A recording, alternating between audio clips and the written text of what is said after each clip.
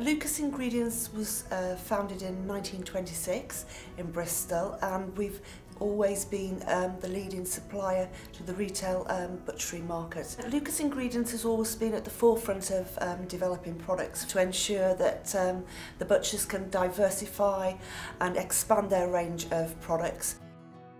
Well, Lucas is, uh, used to be based in Nuneaton, and we've continued with them. And uh, what's important to us is the, uh, the taste and the quality of the product. And Lucas do some excellent products.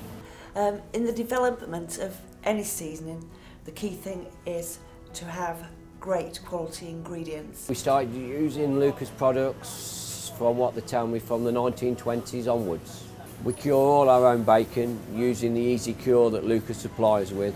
It's turned out to be a massive part of our trade. Lucas has helped us be as successful as we have been over the years. Lucas Ingredients over the years have uh, developed a wide variety of um, sausage mixes and sausage seasonings which have been very successful um, across the UK. It's been very important uh, you know for the butchers knowing that we have got those um, award-winning sausages within our range. I used a Master Choice sausage seasoning in a competition last year and there was over 600 entries and um, on the day I won the champion of the champions. It would have been very hard to win the competition without our wonderful seasoning from Lucas because it helped give us the best flavour that we could offer. The Lucas Pie and uh, Pasty range, uh, we sell loads of these products um, around the country.